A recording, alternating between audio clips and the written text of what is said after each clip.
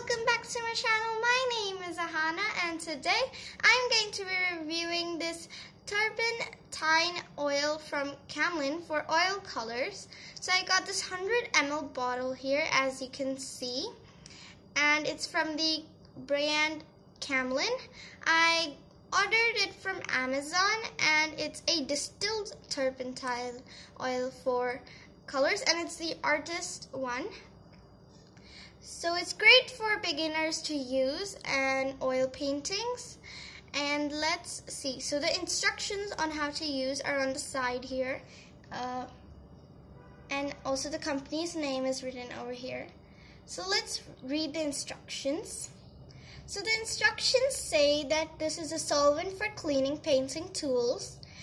It can also be used to thin oil colors its unstrained use may make the paint film chalky and weak, which is not good.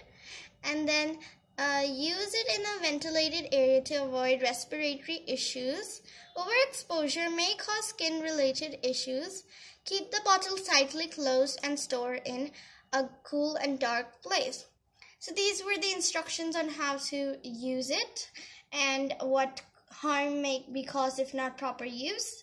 Okay, so now uh, let's see. As I said, it is a 100 ml bottle and is sold by Camlin. And um, this was uh, a closed review of it. If you do want to see the how I use it with the oil paints, then in the next video I will be using it and showing how it works with that. Thank you to be visiting my channel and please like, share, subscribe to my channel and I'll see you next time. Bye!